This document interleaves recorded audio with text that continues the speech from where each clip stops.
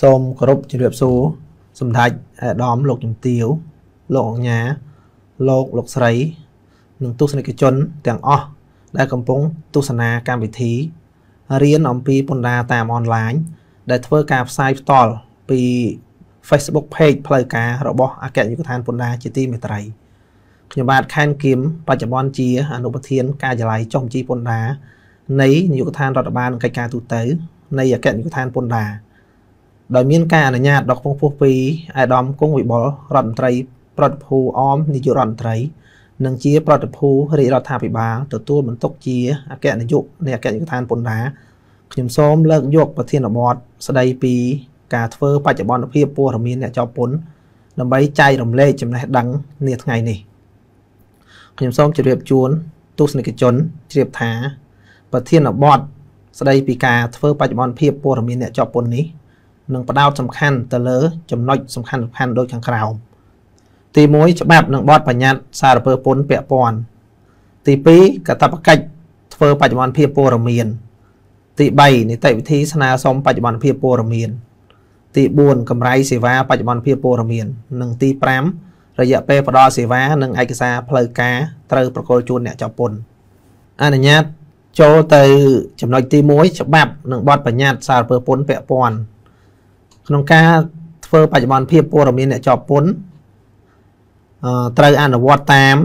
មាត្រាទី76មាត្រាទី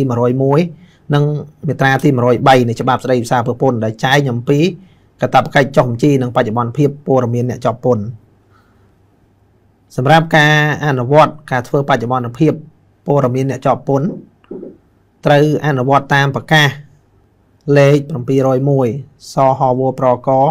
ចុះថ្ងៃទី14ខែសីហាឆ្នាំ2020របស់ក្រសួងសេដ្ឋកិច្ចនិងហិរញ្ញវត្ថុស្ដីពីការចុះបញ្ជីពន្ធដារនិងធ្វើបច្ចុប្បន្នភាពព័ត៌មានអ្នកជាប់ពន្ធជាមួយគ្នានេះសម្រាប់ការកំណត់ចំណាត់ថ្នាក់នៅពេលធ្វើការចុះបញ្ជីឬបច្ចុប្បន្នភាពត្រូវអនុវត្តតាមប្រកាសលេខ009សហវប្រកចុះថ្ងៃទី12ខែមករាឆ្នាំ2021របស់ក្រសួងសេដ្ឋកិច្ចហិរញ្ញវត្ថុ ស្ដីពីការកំណត់ចំណាត់ថ្នាក់អ្នកជាប់ពន្ធតាមរបបស្វ័យប្រកាសជាមួយគ្នានេះពេលអ្នកជាប់ពន្ធស្នើសុំធ្វើបច្ចុប្បន្នភាពព័ត៌មាននិងត្រូវធ្វើការផ្ទេរភាគហ៊ុនលក់ភាគហ៊ុនឬអនុប្រធានភាគហ៊ុនក៏ដូចជាបង្កើតក្រុមហ៊ុនថ្មីរំលាយក្រុមហ៊ុនបញ្ចូលគ្នា ដែលជាប់កាតព្វកិច្ចបង់ពន្ធប្រថាប់ត្រាត្រូវអនុវត្តប្រកាសលេខ 507សហវប្រកចុះថ្ងៃទី26ខែមេសាឆ្នាំ2017របស់ក្រសួងសេដ្ឋកិច្ចនិងហិរញ្ញវត្ថុស្ដីពីការប្រមូលពន្ធប្រថាប់ត្រា ក្នុងការចុះបញ្ជីឬធ្វើបច្ចុប្បន្នភាព ដែលប៉ះពាល់ដល់សកម្មភាពអាជីវកម្មឬក៏ចុះបញ្ជីថ្មី ដែលមានសកម្មភាពអាជីវកម្មទៅតាមការប្រកបអាជីវកម្មជាក់ស្ដែងនឹងត្រូវមានកាតព្វកិច្ចបង់ពន្ធបតង់ ស្របតាមប្រកាសលេខ193សហវប្រកចុះថ្ងៃទី26ខែមីនាឆ្នាំ2021របស់ក្រសួងសេដ្ឋកិច្ចនិងហិរញ្ញវត្ថុខ្ញុំអនុញ្ញាតទៅចំណុចទី2កាតព្វកិច្ចធ្វើបច្ចុប្បន្នភាពព័ត៌មានសម្រាប់អ្នកជាប់ពន្ធដែលបានចុះបញ្ជីរួចរាល់នឹងមានការផ្លាស់ប្ដូរព័ត៌មានត្រូវជួនដំណឹងមករដ្ឋបាលសាធារណពន្ធក្នុងអំឡុងពេល15ថ្ងៃ ចំពោះការផ្លាស់ប្ដូរព័ត៌មានរួមមានព័ត៌មានអាសយដ្ឋានព័ត៌មានត្រង់ទ្រាយនាមកកម្មវត្ថុអាជីវកម្មការផ្ទេរការផ្លាស់ប្ដូរម្ចាស់ភាគហ៊ុន សមាជិកភាពអ្នកគ្រប់គ្រងសហគ្រាសឬសាខាសហគ្រាសការបញ្ឈប់អាជីវកម្មការផ្លាស់ប្ដូរអ្នកទទួលបន្ទុកកិច្ចការពន្ធដារការផ្លាស់ប្ដូរព័ត៌មានគណនីធនាគារនិងការ ផ្លាស់ប្ដូរព័ត៌មានទំនាក់ទំនងដែលអាចជាលេខទូរស័ព្ទឬសារអេឡិចត្រូនិកនេះគឺកាតព្វកិច្ចរបស់អ្នកជាប់ពន្ធដែលត្រូវជូនដំណឹងរដ្ឋបាលសារពើពន្ធក្រោយពេលមានការផ្លាស់ប្ដូរនិងទទួលស្គាល់ពីក្រសួងស្ថាប័នពាក់ព័ន្ធអនុញ្ញាតទៅស្លាយបន្ទាប់អ្នកជាប់ពន្ធមានកាតព្វកិច្ចជូនដំណឹងឬក៏ធ្វើបច្ចុប្បន្នភាពព័ត៌មានផងដែរចំពោះ អ្នកជាប់ពន្ធដែលបានចុះបញ្ជីរួចប៉ុន្តែមិនទាន់មានលេខអត្តសញ្ញាណកម្មសារពើសារពើពន្ធតម្រង់ថ្មី ដែលកំណត់ដោយរដ្ឋបាលសារពើពន្ធមានន័យថាអ្នកជាប់ពន្ធដែលគាត់បានចុះបញ្ជីមុនឆ្នាំ2014មុនខែវិច្ឆិកាឆ្នាំ2014ហើយមិនទាន់បានធ្វើបច្ចុប្បន្នភាពដើម្បីទទួលបានលេខអត្តសញ្ញាណកម្មដែលមានក្បាល K ក្បាល E ក្បាល L ឬក៏ក្បាល E ទៅតាមតម្រងដែលបានកំណត់មួយទៀតអ្នកជាប់ពន្ធត្រូវធ្វើបច្ចុប្បន្នភាពព័ត៌មានផងដែរក្រោយពេលចុះបញ្ជី តាមអនឡាញមានថាតាមថ្នាល KMDX រួចរាល់ត្រូវមកពិនិត្យទៀងផ្ទាត់ព័ត៌មាននិងចុះហត្ថលេខាទទួលស្គាល់លើព័ត៌មានឬក៏ឯកសារភ្ជាប់ដែលបានផ្ដល់ជូនកន្លងមកខ្ញុំសូមបន្តទៅចំណុចទី3នីតិវិធីស្នើសុំបច្ចុប្បន្នភាពព័ត៌មាន សម្រាប់ការស្នើសុំបច្ចុប្បន្នភាពព័ត៌មានអ្នកជាប់ពន្ធអាចស្នើមកនាយកដ្ឋានរដ្ឋបាលកិច្ចការទូតទៅឬសាខាពន្ធដារដែលជាអង្គភាពគ្រប់គ្រងហើយការិយាល័យចុះបញ្ជីពន្ធដារនៃនាយកដ្ឋានរដ្ឋបាលកិច្ចការទូទៅមានមន្ត្រីប្រចាំការសម្រាប់ផ្ដល់សេវាក្នុងការពិនិត្យនិងទទួលឯកសារដើម្បីសម្រួលដល់ ដំណើរការនៃការបញ្ជូនឯកសារបានឆាប់រហ័សជូនអ្នកជាប់ពន្ធហើយរំហោនៃការស្នើសុំនេះត្រូវចំណាយពេល7ទៅ10ថ្ងៃបន្ទាប់ពីឯកសាររបស់អ្នកជាប់ពន្ធអឺដែលបានបង្គ្រប់គ្រប់គ្រាន់អឺខ្ញុំអនុញ្ញាតបន្តទៅចំណុចបន្ទាប់ដោយដែលខ្ញុំបានបញ្ជាក់រួចហើយសម្រាប់ការធ្វើបច្ចុប្បន្នភាពព័ត៌មាន អ្នកជាប់ពន្ធត្រូវរៀបចំលិខិតជូនដំណឹងទៅអង្គភាពគ្រប់គ្រងឬក៏មកនាយកដ្ឋានរដ្ឋបាលកិច្ចការទូទៅដោយបំពេញពាក្យស្នើសុំចុះបញ្ជីពន្ធដារនិងបច្ចុប្បន្នភាពព័ត៌មាន ត្រង់ផ្នែកដែលព័ត៌មានត្រូវបានផ្លាស់ប្ដូរដោយភ្ជាប់មកជាមួយនៅឯកសារតម្រូវតាមលក្ខខណ្ឌនៃការស្នើសុំអញ្ចឹងខ្ញុំអនុញ្ញាតបង្ហាញអំពី ពាក្យស្នើសុំចុះបញ្ជីពន្ធដារនិងបច្ចុប្បន្នភាពព័ត៌មាននេះជូនទៅទស្សនិកជនពាក្យស្នើសុំចុះបញ្ជីពន្ធដារនិងបច្ចុប្បន្នភាពព័ត៌មានអ្នកជាប់ពន្ធនេះអឺយើងអាចហៅកាត់ថាតម្រង101តម្រង101នេះមានច្រើនទំព័រប៉ុន្តែមានគោលបំណង2សំខាន់សំខាន់គោលបំណងទី1គឺអ្នកជាប់ពន្ធអាចបំពេញពាក្យស្នើសុំនេះដោយក្នុងគោលដៅ ស្នើសុំចុះបញ្ជីពន្ធដារឬមួយទៀតបច្ចុប្បន្នភាពព័ត៌មានដោយត្រូវជ្រើសរើសចំណុចណាមួយដែល ជាកម្មវត្ថុនៃការស្នើសុំហើយក្នុងការស្នើសុំនេះអ្នកជាប់ពន្ធមិនមិនតម្រូវឲ្យបំពេញគ្រប់ទំព័រដែលមានភ្ជាប់នៅក្នុងតម្រង101ទាំងអស់ទេ គឺបំពេញដោយផ្នែកតាមត្រង់ទ្រាយកតយុត្តរបស់សហគ្រាសឬស្ថាប័នដែល ពាក្យស្នើសុំចុះបញ្ជីពន្ធដារនិងបច្ចុប្បន្នភាពព័ត៌មានអ្នកជាប់ពន្ធនេះចែកចេញជា5ផ្នែកផ្នែកទី1សម្រាប់ស្ថាប័នមិនស្វែងរកប្រាក់ចំណូលរួមមានស្ថាប័នរដ្ឋបេសកកម្មទូតកុងស៊ុលបរទេសអង្គការអន្តរជាតិភ្នាក់ងារសហប្រតិការបច្ចេកទេសនានារបស់រដ្ឋាភិបាល ឬគណៈបកនយោបាយត្រូវបំពេញផ្នែក101 P1 យើងហៅផ្នែក 101 P1 នឹងជិះវៀងភាពស្មុគស្មាញយើងបានរដ្ឋបាលសារប្រពន្ធបានបែងចែកតម្រង់ទៅតាមត្រង់ទ្រាយកតយុត្តនេះហើយផ្នែកទី2ក្រុមហ៊ុនមូលធន ដែលក្នុងនោះអាចជាក្រុមហ៊ុនឯកជនទទួលខុសត្រូវមានកម្រិតឬក្រុមហ៊ុនមហាជនទទួលខុសត្រូវមានកម្រិតត្រូវបំពេញត្រង់ផ្នែក 101P2 ហើយ ទី3សហគ្រាសឬក៏ក្រុមហ៊ុនបរទេសដែលអាចជាសាខាក្រុមហ៊ុន ឬក៏ការិយាល័យតំណាង ត្រូវបំពេញតម្រង់ 101P3 ហើយចំណុចទី4ផ្នែកទី4ក្រុមហ៊ុន សម្រាប់ក្រុមហ៊ុនសហកម្មសិទ្ធិដែលអាចជាសហកម្មសិទ្ធិទូទៅឬក៏សហកម្មសិទ្ធិមានកម្រិតត្រូវបំពេញតម្រង់101 P4 និង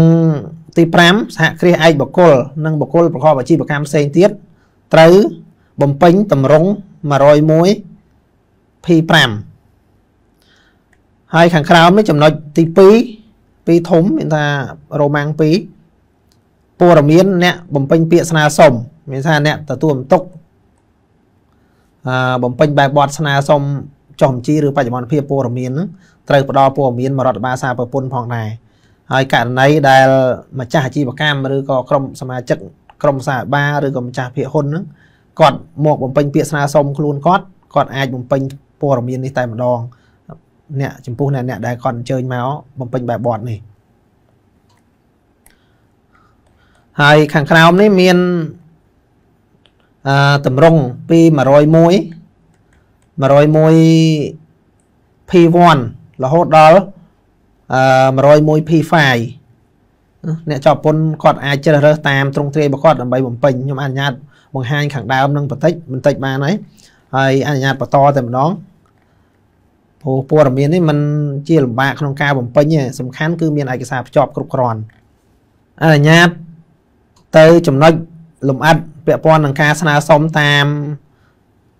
គោលបំណងនីមួយៗចំណុចកគឺការស្នើសុំផ្លាស់ប្ដូរអាសយដ្ឋាន សម្រាប់ការស្នើសុំមិនថាតែការស្នើសុំផ្លាស់ប្ដូរអាសយដ្ឋានឬក៏ស្នើសុំផ្លាស់ប្ដូរឬកែប្រែព័ត៌មានផ្សេងផ្សេងគឺត្រូវរៀបចំលិខិតជូនដំណឹងមានថាលិខិតស្នើសុំមកអង្គភាពគ្រប់គ្រងឬនាយកដ្ឋានរដ្ឋបាលនឹងកិច្ចការទូទៅនឹងជាជំរើសរបស់អ្នកជាប់ពន្ធគាត់អាចស្នើសុំតាមអឺអង្គភាពគ្រប់គ្រងគាត់ផ្ទាល់ឬក៏មកនាយកដ្ឋានរដ្ឋបាលកិច្ចការទូទៅដែលមាន អាសយដ្ឋាននៅសាលាជាតិពន្ធដាជាន់ទី6ហើយចំណុចទី2គាត់អ្នកជាប់ពន្ធត្រូវបំពេញពាក្យស្នើសុំចំជីពន្ធដានិងបច្ចុប្បន្នភាពព័ត៌មានឬតម្រង101ដោយដែលខ្ញុំបានបង្ហាញមុននេះណាត្រង់ផ្នែកដែលមានការផ្លាស់ប្ដូរព័ត៌មានហើយទី3លិខិតបញ្ជាក់ការចុះបញ្ជីឬលិខិតអនុញ្ញាតចេញដោយរាជរដ្ឋាភិបាលឬក្រសួងសាធារណពាក់ព័ន្ធមានន័យថា ចំពោះការស្នើសុំផ្លាស់ប្ដូរព័ត៌មានដោយដែលខ្ញុំបានបញ្ជាក់នៅក្នុងកតបកិច្ចបច្ចុប្បន្នភាពខាងលើត្រូវមានការទទួលស្គាល់ព័ត៌មានខ្លះត្រូវមានការទទួលស្គាល់ពីក្រសួងស្ថាប័នពាក់ព័ន្ធអញ្ចឹងបន្ទាប់ពីទទួលបានការទទួលស្គាល់លើការផ្លាស់ប្ដូរព័ត៌មានអំឡុងពេល15ថ្ងៃអ្នកជាប់ពន្ធត្រូវជូនដំណឹងមករដ្ឋបាលសារពើពន្ធនិងភ្ជាប់ឯកសារពាក់ព័ន្ធមកហើយឯកសារមួយទៀតដែល បញ្ជាក់អំពីការផ្លាស់ប្ដូរអាសយដ្ឋាននេះគឺបានសម្គាល់ការកាន់កាប់ទីតាំងឬកិច្ចសន្យាជួល ដែលមានចំណុចនិយាមការទីស្នាក់ការឬទីចាត់ការសហគ្រាសអឺចំណុចនេះខ្ញុំអនុញ្ញាតបញ្ជាក់ជូនផងដែរការផ្លាស់ប្ដូរអាសយដ្ឋានអឺអាចផ្លាស់ប្ដូរនៅក្នុងមូលដ្ឋានខណ្ឌឬក៏ខេត្តអាចមានការផ្លាស់ប្ដូរនៅក្នុងខេត្តឬខណ្ឌហើយក៏អាចមានការផ្លាស់ប្ដូរឆ្លងខេត្តខណ្ឌដែរ ហើយករណីដែលមានការផ្លាស់ប្ដូរឆ្លងខេត្តខណ្ឌនេះយើងអាចហៅខ្លីថាការផ្លាស់ប្ដូរអាសយដ្ឋានដែលឆ្លងអង្គភាពគ្រប់គ្រងអ្នកជាប់ពន្ធមានកតបកិច្ចបំពេញតម្រង់អឺ C101 មានថាតម្រង់ស្នើសុំផ្លាស់ប្ដូរអង្គភាពគ្រប់គ្រងពីអង្គភាពពន្ធដារមួយទៅអង្គភាពពន្ធដារមួយទៀតជាមួយគ្នានេះខ្ញុំអនុញ្ញាតបញ្ជាក់ជូនផងដែរសម្រាប់ទីតាំងប្រកបអាជីវកម្មដែល គ្មានអាគារឬជាដីទំនេរឬសំណង់កំពុងសាងសង់មិនអាចប្រើប្រាស់កាតរដ្ឋបាលសារពន្ធមិនអនុញ្ញាតឲ្យប្រើប្រាស់ជា កន្លែង សម្រាប់ចុះបញ្ជីពន្ធដារនោះទេ លើកលែងតែ មានការយល់ព្រមពីអគ្គនាយកដ្ឋានពន្ធដារមានន័យថាអ្នកជាប់ពន្ធអាចស្នើមកស្នើមកកាន់អគ្គនាយកដ្ឋានពន្ធដារករណីចាំបាច់ទីតាំងនឹងមិនតាន់មានអាគារអាចជាកន្លងមកអាចជាសហគ្រាសវិនិយោគ ដែលពុំតាន់មានអាគារនៅលើដីដែលគាត់ត្រូវអភិវឌ្ឍព្រោះគាត់ត្រូវការសុំអាជ្ញាប័ណ្ណឬក៏ឯកសារពាក់ព័ន្ធឬក៏វិញ្ញាបនបត្រចុះបញ្ជីពន្ធដារសិនទើបអាចប្រសេសនាំចូលរចនាសម្ព័ន្ធរោងចក្រដើម្បីយកមកដំឡើងបានអញ្ញាទៅចំណុចបន្ទាប់ចំណុចខការស្នើសុំផ្លាស់ប្ដូរទ្រង់ទ្រាយសម្រាប់ការស្នើសុំផ្លាស់ប្ដូរទ្រង់ទ្រាយมันខុសពីការស្នើសុំ ផ្លាស់ប្ដូរអាសយដ្ឋានខាងលើឯងគឺត្រូវបំពេញលក្ខបំពេញបែបបទមានថារៀបចំលិខិតជូនដំណឹងទៅអង្គភាពសម័យក៏ឬក៏នាយកដ្ឋានរដ្ឋបាលកិច្ចការទូទៅនិងបំពេញពាក្យស្នើសុំចំជីពន្ធដានិងបច្ចុប្បន្នភាពព័ត៌មានត្រង់ផ្នែកដែលមានការផ្លាស់ប្ដូរឬក៏យើងហៅថាផ្ផ្លាស់ប្ដូរត្រង់ទ្រាយហ្នឹងបំពេញត្រង់ទ្រាយថ្មីដែលគាត់ផ្លាស់ប្ដូរហ្នឹងហើយភ្ជាប់ឯកសារអនុញ្ញាតឲ្យផ្លាស់ប្ដូរត្រង់ទ្រាយហ្នឹងពីក្រសួងស្ថាប័នពាក់ព័ន្ធ សូមបន្តទៅចំណុចមួយទៀតការស្នើការស្នើសុំផ្លាស់ប្ដូរនាមករការស្នើសុំផ្លាស់ប្ដូរនាមករក៏ត្រូវជួនដំណឹងមករដ្ឋបាលសារពើពន្ធដែរហើយត្រូវរៀបចំលិខិតជួនដំណឹងដូចគ្នាក៏ដូចជាត្រូវបំពេញពាក្យស្នើសុំចុះបញ្ជីតម្រង់101ត្រង់នាមករមានន័យថាផ្លាស់ប្ដូរត្រង់នាមករត្រូវបំពេញត្រង់នាមករអាផ្នែកផ្សេងផ្សេងទៀតมันតម្រូវឲ្យបំពេញទេហើយភ្ជាប់នៅលិខិតបញ្ជាក់ការផ្លាស់ប្ដូរទទួលស្គាល់ការផ្លាស់ប្ដូរនាមករហ្នឹងពីក្រសួងសហបានពាក់ព័ន្ធឧទាហរណ៍សហគ្រាសអាជីវកម្មឯកសារបញ្ជាក់ពីក្រសួងពាណិជ្ជកម្មក្រសួងពាណិជ្ជកម្មហើយសម្រាប់អង្គការសមាគមអាចជាឯកសារមកពីក្រសួងមហាផ្ទៃឬក៏ឯកសាររបស់ក្រសួងការបរទេសនិងសហប្រតិបត្តិការអន្តរជាតិបន្តទៅចំណុចមួយទៀត ការផ្លាស់ប្ដូរបេសកកម្មឬក៏សកម្មភាពអាជីវកម្មក៏ត្រូវធ្វើលិខិតជូនដំណឹងមកអង្គភាពគ្រប់គ្រងមានថារដ្ឋបាលសាធារណដែលជាអង្គភាពគ្រប់គ្រងឬនាយកដ្ឋានរដ្ឋបាលកិច្ចការទូទៅការផ្លាស់ប្ដូរកម្មវត្ថុអាជីវកម្មនេះអាចជាកម្មវត្ថុអាជីវកម្មចម្បងឬក៏ការផ្លាស់ប្ដូរអឺសកម្មភាពអាជីវកម្មបន្តបន្សំ ករណីផ្លាស់ប្ដូរសកម្មភាពចម្បងអ្នកចាប់ពន្ធត្រូវបំពេញពាក្យស្នើសុំចំជីពន្ធដារនិងបច្ចុប្បន្នភាពព័ត៌មានត្រង់សកម្មភាពចម្បង ដែលគាត់បានផ្លាស់ប្ដូរមានថាសកម្មភាពថ្មីដែលគាត់បានផ្លាស់ប្ដូរហើយសម្រាប់ការផ្លាស់ប្ដូរឬបន្ថែមសកម្មភាពអាជីវកម្មបន្តបន្សំអ្នកចោពពន្ធត្រូវបំពេញតម្រង់ព័ត៌មានបេសកកម្មឬក៏សកម្មភាពអាជីវកម្មនេះតម្រង់ហ្នឹងយើងហៅហៅកាត់ថាតម្រង់ អឺ 101D ខ្ញុំអនុញ្ញាតអឺបង្ហាញតម្រង់នេះបន្តិចនេះតម្រង់ 101D ឬយើងហៅថាតម្រង់ព័ត៌មានបេសកកម្មឬសកម្មភាពអាជីវកម្មខាងក្រោមនេះមានព័ត៌មានបន្ថែមសកម្មភាពសកម្មភាពអាជីវកម្មឬក៏ផ្លាស់ប្ដូរក្នុងនេះមានកម្មវត្ថុនៃការស្នើសុំតាមអឺតាមភាពជាក់ស្ដែង ទី1អាចបន្ថែមឬក៏ផ្លាស់ប្ដូរហើយការបន្ថែមនឹងអាចនៅទីចាត់ការសហគ្រាសឬក៏នៅសាខា ជារួមតម្រងនេះអាចប្រើបានទាំងគ្រប់ត្រង់ទ្រាយកតិយុត្តរបស់សហគ្រាសក៏ដូចជាស្ថាប័នផ្សេងផ្សេងខ្ញុំអនុញ្ញាតបន្តទៅ slide អឺសូមកត់សម្គាល់ផងដែរសម្រាប់ការផ្លាស់ប្ដូរសកម្មភាពអាជីវកម្ម អ្នកជាប់ពន្ធមានកាតព្វកិច្ចបង់ពន្ធបតង់ទៅតាមសកម្មភាពដែលបានផ្លាស់ប្ដូរឬបន្ថែមហើយការផ្លាស់ប្ដូរបន្ថែមឬបន្ថែមសកម្មភាពនេះត្រូវបង់ពន្ធបតង់ទៅតាមចំនួនសកម្មភាពដែលបានបន្ថែមឬបានផ្លាស់ប្ដូរហើយសម្រាប់កតាបកិច្ចពន្ធបតង់ការថែមសកម្មភាពពាក់កណ្ដាលឆ្នាំមានថា6ខែដើមឆ្នាំត្រូវបង់ ពន្ធបតង់ពេញមួយឆ្នាំ ហើយការបន្ថែមឬផ្លាស់ប្ដូរសកម្មភាព6ខែចុងឆ្នាំមានថាចាប់ពីថ្ងៃ1ខែកក្កដាដល់រហូតដល់ខែធ្នូគឺត្រូវបង់ពាក់កដាលមានថាបង់50%នៃពន្ធបតង់អនុញ្ញាតបន្តទៅចំណុចមួយទៀតអឺការកត់សម្គាល់បន្ថែម ការស្នើសុំផ្លាស់ប្ដូរបេសកកម្មឬសកម្មភាពអាជីវកម្ម កន្លងមកអ្នកជាប់ពន្ធតែងតែ មានការលំបាកក្នុងការកំណត់សកម្មភាពឲ្យបានត្រឹមត្រូវជាមួយគ្នាអគ្គនាយកដ្ឋានពន្ធដារបានរៀបចំសិភៅសកម្មភាពអាជីវកម្មនិងកាតព្វកិច្ចពន្ធបតង់ដើម្បីបង្កភាពងាយស្រួលដល់អ្នកជាប់ពន្ធក្នុងការជ្រើសរើសសកម្មភាពអាជីវកម្មនៅពេលចុះបញ្ជីពន្ធដារថ្មីឬឬនៅពេលស្នើសុំផ្លាស់ប្ដូរឬកែប្រែសកម្មភាព អាជីវកម្មត្រូវអឺអ្នកជាប់ពន្ធត្រូវប្រើប្រាស់សិភៅនេះ ជាមូលដ្ឋានក្នុងការជ្រើសរើសសកម្មភាពក៏ដូចជាបរិយាយសកម្មភាពហើយការផ្លាស់ប្ដូរឬបន្ថែមសកម្មភាពនេះត្រូវអឺអនុវត្តផងដែរនៅប្រកាសស្ដីពី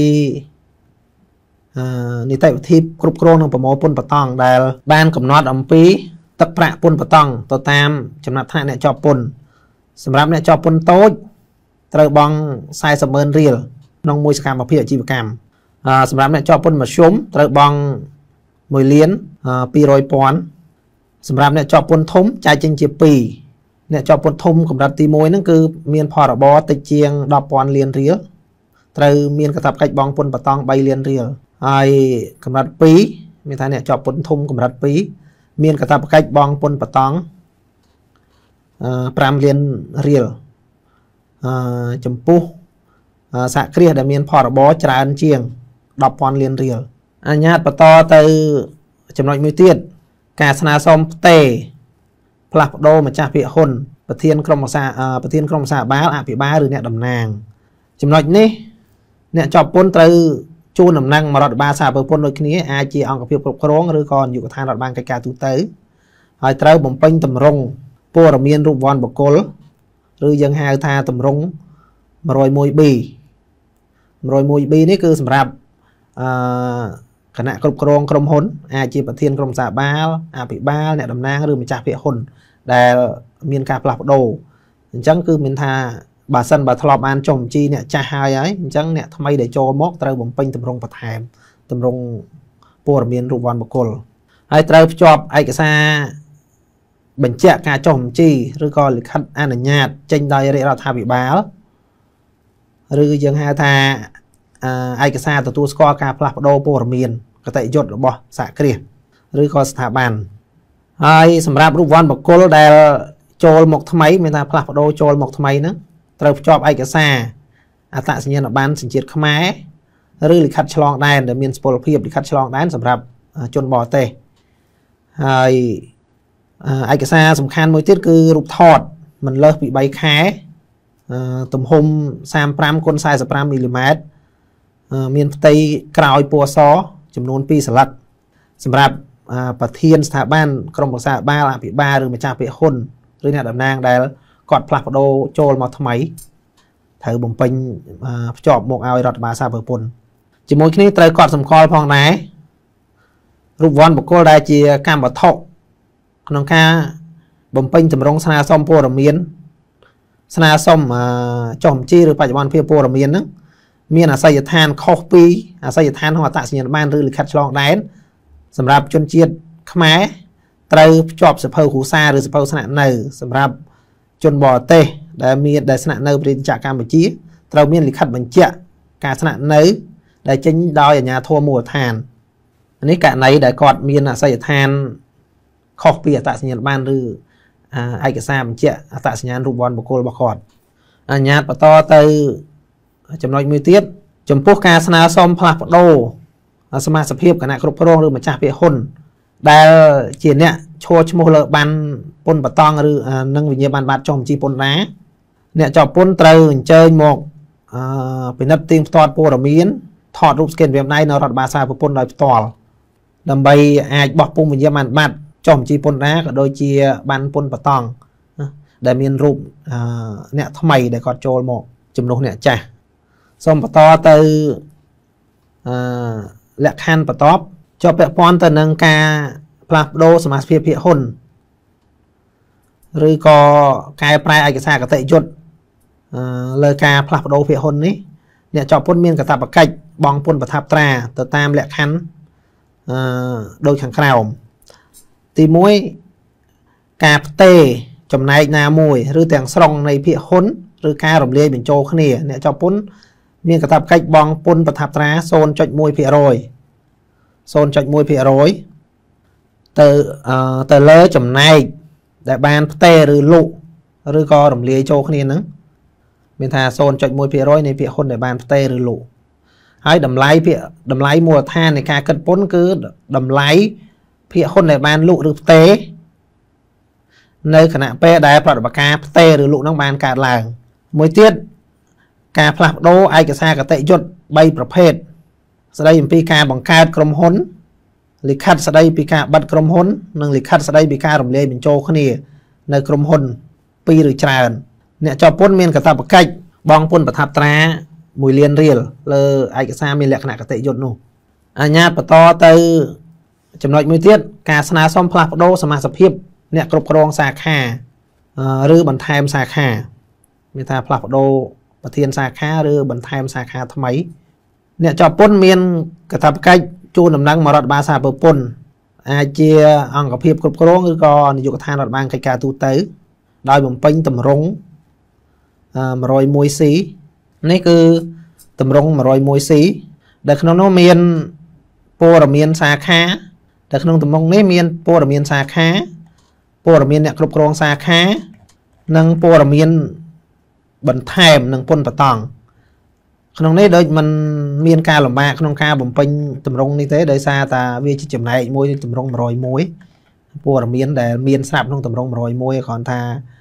អានេះគឺព័ត៌មានសាខាបន្ថែមលើព័ត៌មានដែលយើងធ្លាប់បានបំពេញគ្រាន់តែវាជាការចុះបញ្ជីសាខាថ្មីឬកែប្រែព័ត៌មានសាខាថ្មីហើយអ្នកជាប់ពន្ធក៏ត្រូវភ្ជាប់មកជាមួយនៅលិខិតបញ្ជាក់ការចុះបញ្ជីសាខាហ្នឹងពីចេញដោយរាជរដ្ឋាភិបាលឬក្រសួងសាធារណពាក់ព័ន្ធ ហើយភ្ជាប់នៅអត្តសញ្ញាណប័ណ្ណសញ្ជាតិខ្មែរលិខិតឆ្លងដែនមានសុពលភាពរបស់ប្រធានអឺប្រធានសាខា មានថាប្រធានសាខាឬស្ថាប័នហ្នឹងប្រធានសាខារបស់សហគ្រាសឬអង្គភាពដែលស្នើសុំចំជីសាខាហ្នឹងភ្ជាប់មកជាមួយផងដែរនៅរូបថតដោយព័ត៌មានដែលយើងបានចំជីដំបងដែរគឺរូបថតមិនលើសពី3ខែទំហំ35គុណ45មីលីម៉ែត្រ ផ្ទៃសចំនួន2សន្លឹកអឯកសារនេះត្រូវភ្ជាប់មកជាមួយនៅពេលស្នើសុំចុះបញ្ជីសាខាហើយចងចាំផងដែរបុគ្គលដែលជាកម្មធននៃការបំពេញពាក្យស្នើសុំត្រូវដែលមានអាស័យដ្ឋានខុសពីអាស័យដ្ឋាននៅក្នុងអត្តសញ្ញាណប័ណ្ណឬលិខិតឆ្លងដែនត្រូវភ្ជាប់មកជាមួយនៅសិភៅគ្រួសារឬសិភៅស្នាក់នៅឬលិខិតបញ្ជាក់ការស្នាក់នៅចេញដល់អាជ្ញាធរ ហើយទីតាំងសាខាក៏ដូចជាទីតាំងរបស់សហគ្រាសដែរកាលណាជាទីតាំងដែលគ្មានអាគារជាដីទំនេរឬអាគារកំពុងសាងសង់ក៏មិនត្រូវអនុញ្ញាតឲ្យចុះបញ្ជីឬក៏បច្ចុប្បន្នភាពព័ត៌មានសាខានឹងផងដែរចូលដល់ចំណុចមួយទៀតចំណុចឆការស្នើសុំបញ្ឈប់អាជីវកម្មស្ថាពរការស្នើសុំបញ្ឈប់សកម្មភាពអាជីវកម្មស្ថាពរនេះ អ្នកជាប់ពន្ធត្រូវជូនដំណឹងមករដ្ឋបាលសាធារណពន្ធអាចជាអង្គភាពគ្រប់គ្រងឬក៏នាយកដ្ឋានរដ្ឋបាលកិច្ចការទូទៅដោយបំពេញពាក្យស្នើសុំបញ្ឈប់សកម្មភាពអាជីវកម្មស្ថាពរអាចដោនឡូតតាមគេហទំព័រអឺរបស់អគ្គនាយកដ្ឋានពន្ធដែរហើយខ្ញុំអនុញ្ញាតទៅពាក្យស្នើសុំចុះបញ្ជីបន្តិចដើម្បីអាចឲ្យទស្សនិកជនបានឃើញអំពីតម្រងនេះ នេះតម្រងតម្រងស្នើសុំអឺបញ្ឈប់សកម្មភាពអាជីវកម្មស្ថាពរដែលដែលពាក្យស្នើសុំអាចផ្នើបាន3ជំរើសទី1ការផ្អាកបដិសន្នរបស់សហគ្រាសទី2ការបញ្ឈប់សកម្មភាពអាជីវកម្មស្ថាពរហើយនឹងទី3ការផ្ទេរអាជីវកម្មការផ្ទេរអាជីវកម្មខ្ញុំបង្ហាញត្រុសត្រុសខាងលើមានព័ត៌មាន តកតងនឹងសហគ្រាសព័ត៌មានតកតងសកម្មភាពអាជីវកម្មព័ត៌មានអាស័យដ្ឋានអឺកន្លែងប្រកបអាជីវកម្មឬសាខាដែលផ្អាកព័ត៌មានតកតងនឹងកម្មសិទ្ធិករថ្មីមានថាម្ចាស់ថ្មីបន្ទាប់ពីបំពេញពាក្យស្នើសុំបញ្ឈប់សកម្មភាពអាជីវកម្មសាពររួចអ្នកជាប់ពន្ធត្រូវភ្ជាប់ឯកសារលិខិតប្រកាសពន្ធប្រចាំខែ3ខែចុងក្រោយករណីអ្នកជាប់ពន្ធបានចុះបញ្ជីរួចហើយលិខិតប្រកាសពន្ធប្រាក់ចំណូល ឆ្នាំស្នើសុំបញ្ឈប់អាជីវកម្មសាពរហ្នឹងហើយអ្នកជាប់នេះករណីអ្នកជាប់ពន្ធដែលគាត់បានចុះបញ្ជីរួចរាល់មានថាមិនមែនអឺអ្នកជាប់ពន្ធឬសហគ្រាសដែលគាត់កំពុងស្ថិតក្នុងដំណើរការចុះបញ្ជីឲ្យគាត់សុំប័ណ្ណទេអឺចំណុចមួយទៀតលិខិតជូនដំណឹងស្ដីពីការផ្ទេរសិទ្ធិទៅបុគ្គលទទួលបន្ទុកកិច្ចការពន្ធដារករណីគាត់មានអ្នកទទួលបន្ទុកកិច្ចការពន្ធដារមានថាគាត់មានអ្នកទទួលបន្ទុកពេញបែបបទស្នើសុំប័ណ្ណសកម្មភាពអាជីវកម្មស្ថាពរហ្នឹង ដែលតែងតាំងដោយក្រុមហ៊ុនហើយអ្នកទទួលបន្ទុកកិច្ចការពន្ធដារត្រូវផ្ដល់នៅអត្តសញ្ញាណអត្តសញ្ញាណបានជាតិខ្មែរលិខិតឆ្លងដែនដែលមានសុពលភាពមកពេលដែលស្នើសុំចុះបញ្ជីមករដ្ឋបាលសារពន្ធពេលស្នើសុំចុះបញ្ជីស្នើសុំបច្ចុប្បន្នភាពបញ្ឈប់សកម្មភាពអាជីវកម្មហ្នឹងទៅចំណុចមួយទៀតការស្នើសុំផ្លាស់ប្ដូរអ្នកទទួលបន្ទុកកិច្ចការពន្ធដារអ្នកតំណាងអ្នកជាប់ពន្ធករណីមានការតែងតាំង ភ្នាក់ងារឬក៏អ្នកទទួលបន្ទុកកិច្ចការពន្ធដារជំនួសហើយមានការផ្លាស់ប្ដូរត្រូវជូនដំណឹងមករដ្ឋបាលសាពើពន្ធផងដែរហើយអាចជូនដំណឹងទៅ អង្គភាពគ្រប់គ្រងអ្នកជាប់ពន្ធឬក៏មកនាយកដ្ឋានរដ្ឋបាលកិច្ចការទូទៅដូចគ្នាហើយភ្ជាប់មកជាមួយនៅលិខិតជូនដំណឹងស្តីពីការផ្ទេរសិទ្ធិដល់បុគ្គលទទួលបន្ទុកកិច្ចការពន្ធដារមានថាអាចជាភ្នាក់ងារឬក៏យើងហៅថា accounting firm tax agent ដែលមានអាជ្ញាប័ណ្ណក្នុងនេះមានពីរករណីអ្នកអ្នកទទួលបន្ទុកកិច្ចការពន្ធដារអាចជារូបវ័នបុគ្គលបើសិនបើរូបវ័នបុគ្គលជាអ្នកទទួលបន្ទុកកិច្ចការពន្ធដារជំនួសឲ្យសហគ្រាសត្រូវភ្ជាប់មកជាមួយនឹងអត្តសញ្ញាណប័ណ្ណសញ្ជាតិខ្មែរឬលិខិតឆ្លងដែនដែលមានសុពលភាពអឺដែលឡែកសម្រាប់នីតិបុគ្គលមានថាអ្នកទទួលបន្ទុកកិច្ចការពន្ធដារជានីតិបុគ្គលត្រូវភ្ជាប់វិញ្ញាបនបត្រចុះបញ្ជីពន្ធដារអាកលើតម្លៃបន្ថែមមកឲ្យរដ្ឋបាលសាប្រពន្ធ ហើយភ្នាក់ងារអាចជារូបវ័នបុគ្គលអាចជា accounting firm នេះ accounting firm ភ្នាក់ងារសេវាពន្ធដារនេះក្នុងនេះតែចំណុចមួយទៀតអឺការស្នើសុំផ្លាស់ប្ដូរព័ត៌មានគណនីធនាគារគណនីធនាគារសំខាន់ត្រូវភ្ជាប់នៅពេលចុះបញ្ជីក៏ដូចជាការផ្លាស់ប្ដូរក្រោយពេលចុះបញ្ជីអ្នកជាប់ពន្ធមានកាតព្វកិច្ចជូនដំណឹងរដ្ឋបាលសារពន្ធរាល់ការកែប្រែឬបន្ថែមគណនីធនាគារ ដោយធ្វើលិខិតជូនដំណឹងមកអង្គភាពសម័យឬក៏នាយកដ្ឋានរដ្ឋបាលកិច្ចការទូទៅដោយបំពេញតម្រង់តម្រង់ព័ត៌មានគណនីធនាគារឬយើងអាចហៅបានថាតម្រង់ 101A ខ្ញុំអនុញ្ញាតទៅតម្រង់ 101A តែម្ដងនេះតម្រង់ 101A ឬតម្រង់ព័ត៌មានគណនីធនាគារដែលក្នុងនោះមានព័ត៌មានផ្នែកខាងលើនេះខ្ញុំពុំចាំបាច់បញ្យល់ទេដោយសារព័ត៌មាននេះគឺសម្រាប់ មន្ត្រីពន្ធដារដោយឡែកព័ត៌មានខាងក្រោមនេះគឺព័ត៌មានដែលអ្នកជាប់ពន្ធឬក៏អ្នកតំណាងអ្នកជាប់ពន្ធនឹងត្រូវបំពេញមានមានឈ្មោះគណនីធនាគារមានឈ្មោះឈ្មោះធនាគារឈ្មោះគណនីធនាគារនិងលេខគណនីធនាគារបើសិនបើមានច្រើនបំពេញតាមនឹងមកក្នុងមួយតម្រងនេះអាចបំពេញបាន5 5គណនីធនាគារទាំងការផ្លាស់ប្ដូរដែលជាព័ត៌មានផ្លាស់ប្ដូរឬក៏ព័ត៌មានដែលបន្ថែមបន្ថែមគណនីធនាគារហ្នឹង ហើយត្រូវភ្ជាប់គណនីធនាគារហ្នឹងមកពួកឯកសារគណនីធនាគារជាឯកសារយោងឯកសារគណនីធនាគារត្រូវត្រូវចងចាំថាមិនមែនចេញដោយក្រុមហ៊ុនបញ្ជាក់ឯងគឺចេញដោយធនាគារដែលអាចជា bank confirmation letter ឬក៏គណនីលិខិតបញ្ជាក់គណនីធនាគាររបាយការណ៍ធនាគារឬសភៅធនាគារមួយណាក៏បានមិនមែនភ្ជាប់ទាំង3ទេហើយចុះហត្ថលេខាទទួលស្គាល់ ទទួលខុសត្រូវអញ្ញាត្រឡប់ទៅ slide វិញចំណុចមួយទៀតចំណុចចុងក្រោយលើការផ្លាស់ប្ដូរព័ត៌មានគឺការស្នើសុំផ្លាស់ប្ដូរព័ត៌មានទំនាក់ទំនងលេខទូរស័ព្ទឬសារអេឡិចត្រូនិកព័ត៌មាននេះសំខាន់អឺអ្នកជាប់ពន្ធឬក៏ភ្នាក់ងារទទួលបន្ទុកកិច្ចការពន្ធដារហ្នឹងត្រូវផ្ដល់លេខទូរស័ព្ទដែលត្រឹមត្រូវជាក់លាក់អាចទំនាក់ទំនងបាន ហើយមានមុខងារសំខាន់ក្នុងការទទួលបានសេវាអនឡាញពីអគ្គនាយកដ្ឋានពន្ធដារគណៈដាក់លេខទូរស័ព្ទខុសมันអាចចូលទៅប្រព័ន្ធអឺផ្សេងផ្សេងរបស់អគ្គនាយកដ្ឋានពន្ធដារដូចជាប្រព័ន្ធ e-filing អត់អាចដាក់លិខិតប្រកាសតាមអនឡាញបានអញ្ចឹងព័ត៌មាននេះត្រូវមានការប្រុងប្រយ័ត្ននិងផ្ដល់អឺព័ត៌មានឲ្យបានត្រឹមត្រូវអនុញ្ញាតទៅចំណុចបន្ទាប់ ចំណុចទី4កម្រៃសេវាបច្ចុប្បន្នភាពព័ត៌មានសម្រាប់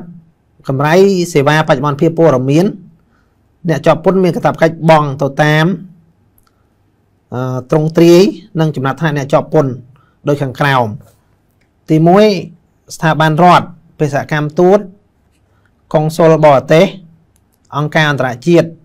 ទីភ្នាក់ងារសហប្រតិបត្តិការបច្ចេកទេសនានារបស់រដ្ឋាភិបាល និងគណៈបកនយោបាយ ត្រូវបង់កម្រៃសេវាបច្ចុប្បន្នភាព0រៀលមានថាលើកលែងកម្រៃសេវា ទី2អ្នកជាប់ពន្ធតូចអ្នកជាប់ពន្ធក្រោមកម្រិត ផរបជាអ្នកជាប់ពន្ធតូចរាល់ការផ្លាស់ប្ដូរព័ត៌មានត្រូវបង់កម្រៃសេវា10000រៀលទី3សហគ្រាសអាជីវកម្មសមាគមអង្គការមិនមែនរដ្ឋាភិបាលនានាដែលជាអ្នកជាប់ពន្ធមធ្យមឬអ្នកជាប់ពន្ធធំ មានកាតព្វកិច្ចបង់កម្រៃសេវា200,000រៀល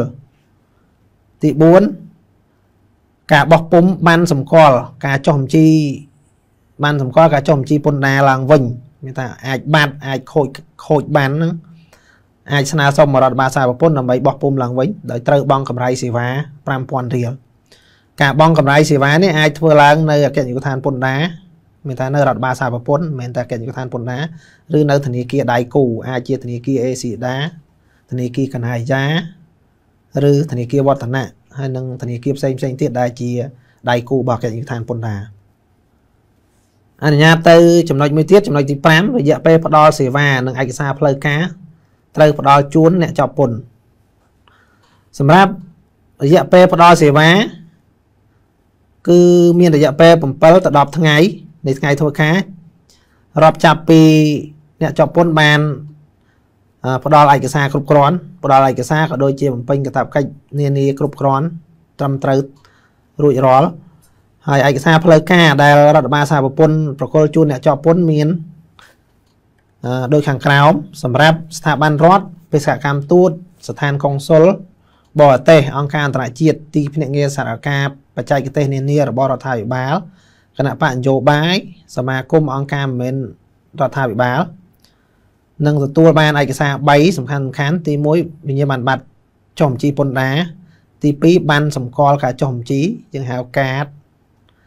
អឺទី3លិខិតជូនដំណឹងស្តីពីការបំពេញកាតព្វកិច្ចសារពើពន្ធដោយឡែកសម្រាប់អ្នកជាប់ពន្ធធំអ្នកជាប់ពន្ធមធ្យមអ្នកជាប់ពន្ធតូចដែលជាសហគ្រាសអាជីវកម្មនឹងទទួលបានឯកសារ4ទី1គឺវិញ្ញាបនបត្រចុះបញ្ជីពន្ធដារ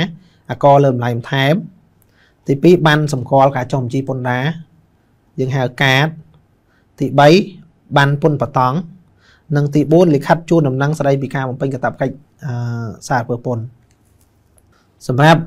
អ្នកជាប់ពន្ធដតីទៀតឬអ្នកជាប់ពន្ធក្រោមកម្រិតផរបជាអ្នកជាប់ពន្ធតូច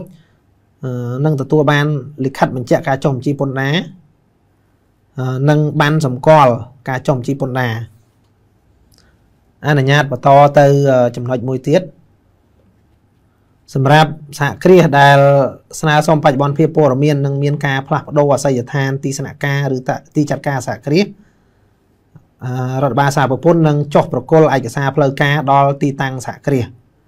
ដើម្បីកត់ត្រាទីតាំងកត់ត្រាក្នុងម៉ាស៊ីន GPS ហើយនឹងថតរូបទីតាំងបញ្ចូលទៅក្នុងប្រព័ន្ធរបស់កិច្ចការពន្ធដារហើយក្រុមការងារ អឺប្រគល់បាន មានឯកសន្តានជាអាវយឺតមាន logo ពន្ធដារនិងមានកាតសម្គាល់ខ្លួនអញ្ចឹងអ្នកជាប់ពន្ធអាចសម្គាល់បាននៅមន្ត្រីរដ្ឋបាលសារពន្ធដែលចុះទៅប្រគល់បាន